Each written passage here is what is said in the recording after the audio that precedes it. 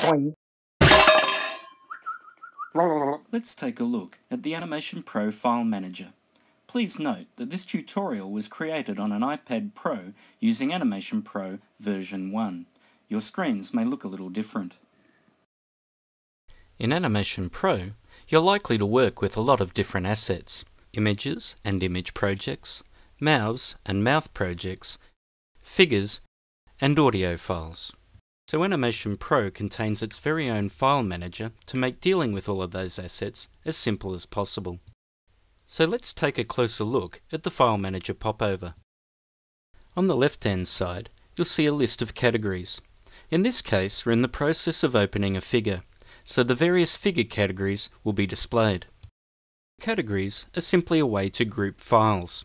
They're kind of like directories in a computer file system, but unlike directories, when you view the contents of a parent category, you will see both its contents and the contents of any subcategories that it contains as well. Now, whenever a given category has a blue arrow shown after its name, subcategories exist below it. Tap on the blue arrow to view the subcategories.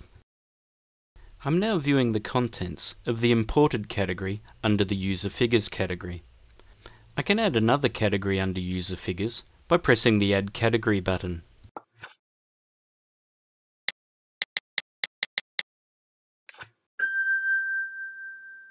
I can add a new category below it by pressing the blue plus button after its name.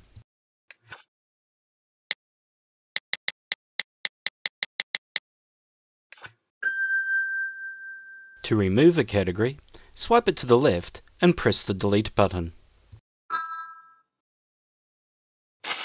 To return to a parent category, press the back button. And finally, to return quickly to the topmost list of categories, tap on the blue Categories button. Let's now take a look at the other side of the File Manager. Here, you'll see all of the items within the selected category. You can tap on the alphabet at the top of the File Manager to display all of the items that begin with the selected letter. To display all of the items in the category, tap on the dash at the end of the alphabet. The items in the category can also be sorted using the four buttons at the bottom of the File Manager. Some of these options may be disabled if you are viewing a system category, such as the Animation Pro Figure category shown here. There's quite a few things that you can do with the items that you place in the File Manager. So let's select the User Figures category and take a look. Firstly, you can rename an item by tapping on its name.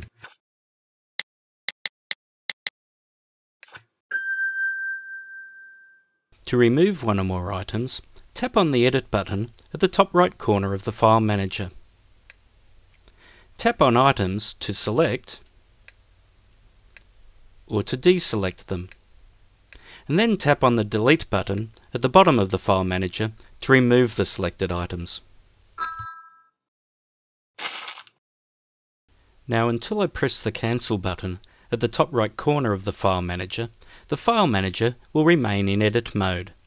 So let's select a single item. Whenever you're using the File Manager to select a single figure or mouth, an additional email button will appear at the bottom of the File Manager popover. You can use this to send the figure or mouth to someone via email. Animation Pro will construct the entire email for you, including a preview image. The next button at the bottom of the screen can be used to share one or more items. Press it to bring up the standard iOS sharing popover. From here, you can share the items with any other app that supports the given file type. If there's somebody nearby with AirDrop turned on, you can send the items directly to them. Finally, you can move a selected item into a different user category by navigating to the destination category and then pressing the Move Here button. We're now done with editing, so I'll press the Cancel button at the top right corner of the File Manager popover to exit edit mode. Okay, so we've been using the File Manager to work with figures. Now let's take a quick look at how it behaves when working with the other types of Animation Pro assets. The File Manager will display additional options when working with images. These options will also vary depending on whether an image is being added to an animation as a figure, as we see here, or loaded perhaps into an image project. On the left hand side of the popover, additional categories may be shown. In this case, we see an additional substitutions category. This category contains all of the images previously substituted into the current animation. Underneath it is the photo albums category. This contains all of the images found in the iOS photo album. Please note that the first time you access this category, Animation Pro may ask for permission. If that occurs, answer yes and then tap on the photo albums category again to see the content. At the bottom is a link to the Add Text popover. Click on it to add some text to your animation instead. Whenever you add an image as a figure, Animation Pro gives you two options for positioning the handles. They can be added to the top and the bottom of the image,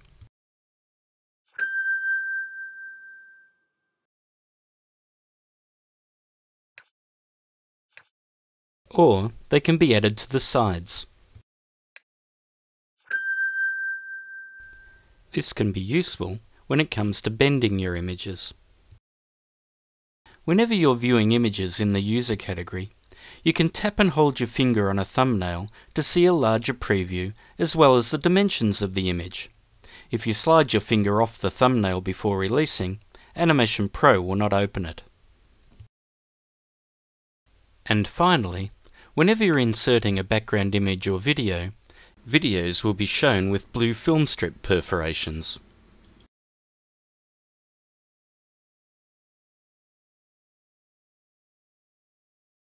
The File Manager will display mouths in a list versus a grid format.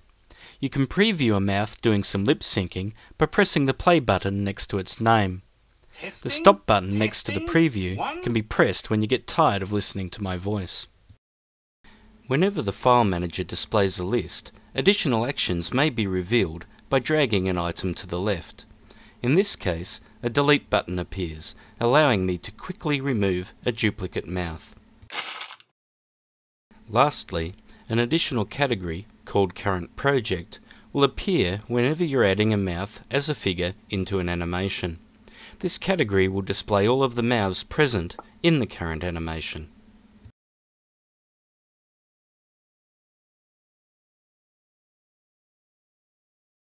Audio will be displayed in a list format.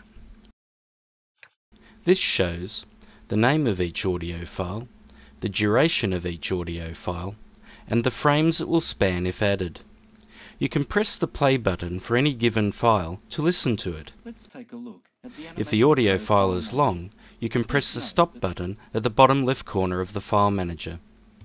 Audio may be recorded within the File Manager by pressing the microphone button at the bottom of the popover. The File Manager will count down from 3 before it starts recording. Press the Stop button when you're done. Press the Stop button when you're done.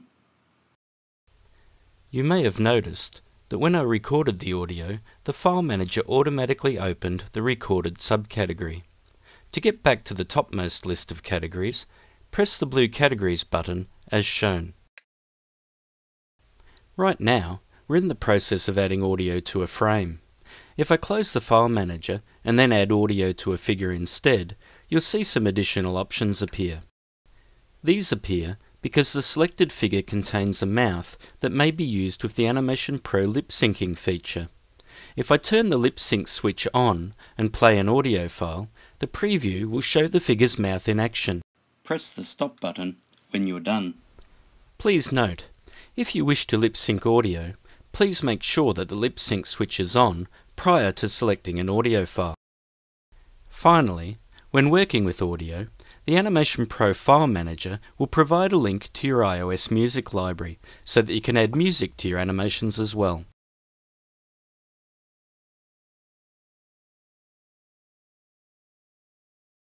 The File Manager will display image projects as a list. Swipe an image project to the left to see additional options. Individual image projects can be archived and shared by pressing the blue Share button.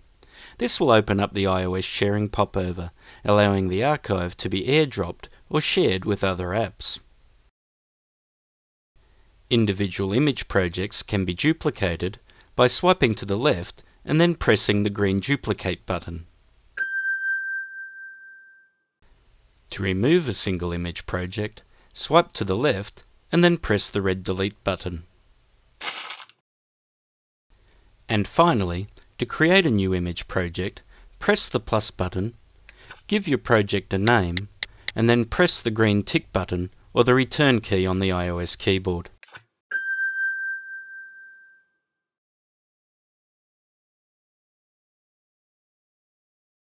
I really don't have a lot more to say about working with mouth projects, as the file manager behaves in exactly the same way as it does for image projects. So please rewind the video and watch that segment all over again.